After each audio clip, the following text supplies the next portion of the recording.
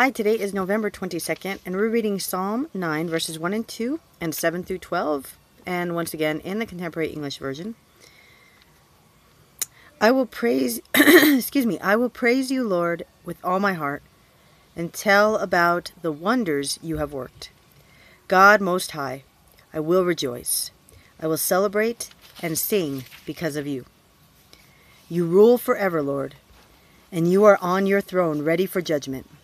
You judge the world fairly and treat all nations with justice. The poor can run to you because you are a fortress in times of trouble. Everyone who honors your name can trust you because you are faithful to all who depend on you. You rule from Zion, Lord, and we sing about you to let the nations know everything you have done. You did not forget to punish the guilty or listen to the cries of those in need. Lord Jesus, we thank you for your presence and your grace. We thank you for your, your protection and your provision and the safety that we can find in you. We know that this world has trials and tribulations. We know that we are hated for your name's sake. We ask that you give us the strength and the ability to stand and the wisdom, Lord Jesus, to be who you've called us to be, to be strong, and to not fail to be holy.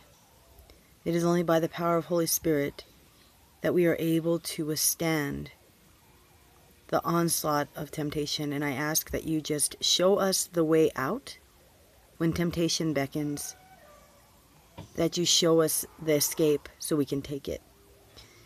Be the light unto our feet, Lord Jesus, and direct our paths as we go about our day moving forward with you to the call and the purpose you have, that none should perish, Lord, that the whole world should hear, know, and receive your love. In your name, I ask this, Jesus. Amen. Sorry, my voice is a little weird. Um, so, once again, we we need to think about focusing or discovering what, uh, noticing, there's the word, what Christ does in our life, in the little things and in the daily things and, and that kind of stuff. Knowing all that. We have to be aware that Christ rules forever. Was, is, and always will be. There's nothing that catches him by surprise. No choice you make. he knows the choice you're going to make before you make it. And that that's something people really struggle with because then they, they argue there's no free will, but yes, there is because you're the one that makes the choice. Just because he knows what your choice is changes nothing. You made the choice. Then they argue that, well, if he knows I'm going to do this, then he can't, you know, um, hold me accountable, judge me for it. But of course he can because we are given our free will to choose him. Now, one would wonder why we choose why it would matter, okay, to choose him. And the main thing and the easiest way for me to put it is because if you're forcing someone to love you, it's not really love, and there's no security in it. But if you've cho chosen to love the person, then there's security and there's safety there.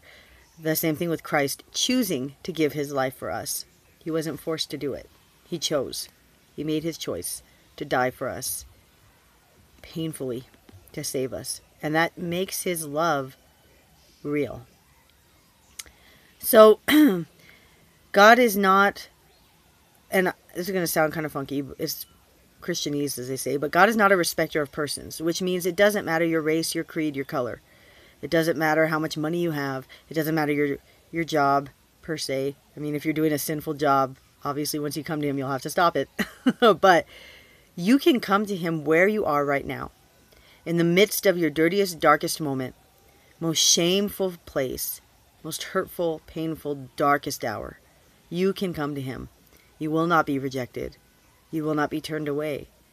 It says, the poor can run to you because you are a fortress. Everyone who honors your name can trust in you because you are faithful. He is faithful to you.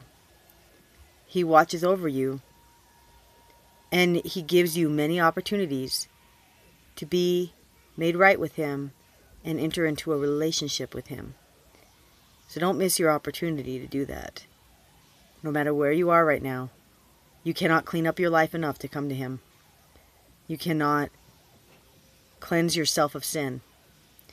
Only Jesus Christ can do that. And so it doesn't matter where you are, what you've done. Cry out to the Lord. Seek His face. And He will answer you and He will save you. Tomorrow is the 23rd. We are getting almost to the end of November, which is exciting. And we are reading Lamentations, which is a pretty intense book. Lamentations 3 22 through 27. And we'll see you then.